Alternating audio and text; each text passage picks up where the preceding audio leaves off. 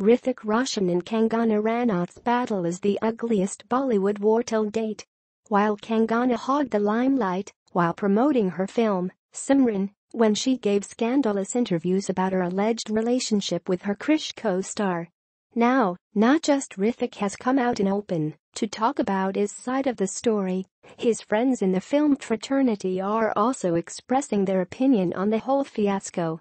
After Farhan Akhtar, Hrithik's Kaabil co-star Yami Gautam took to Facebook to express her views about the whole issue. As she requested everyone to not make it gender war. Making everything a gender issue can easily distract us from addressing alleged sexist issues that plague our society, she wrote concluding her letter. Here's a look at Yami Gautam's Facebook post. I am usually not very vocal on social media, but I am making an exception today, since as a woman, what I am seeing right now terrifies me. This is concerning the matter surrounding two of the biggest stars in our industry. I have, fortunately, had the opportunity to work with one of them. However, I am not writing this as a co-star or even as a friend. I am writing this as a woman and it concerns citizen of the country, and I will try to get my point across as succinctly and as objectively as possible. I am no legal expert, and I am not privy to the details of the case. I know what has been reported in the media, and I am all for good, honest reporting. However, somehow, the tussle has turned into a gender war, with a certain faction of the society having already declared the man guilty. People have presumed that, since he is a man, he must be the guilty party, since that is how it has always been. Men have oppressed women in one way or another for centuries, and it's being presumed that it is the same in this case too. And that's dangerous.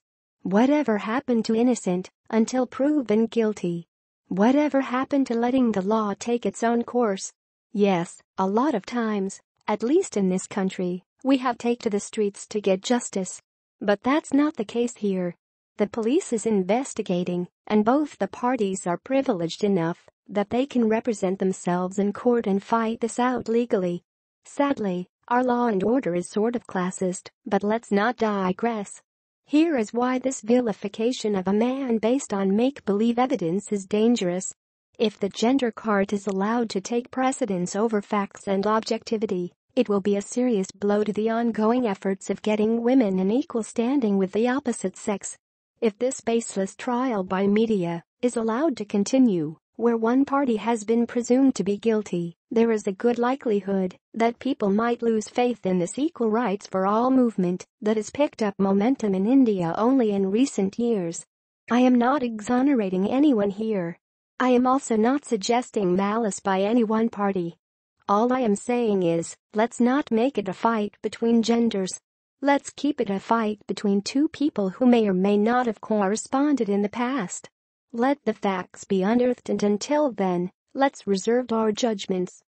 Just because this is a fight between a man and a woman does not mean it has to be a fight between genders. Making everything a gender issue can easily distract us from addressing alleged sexist issues that plague our society.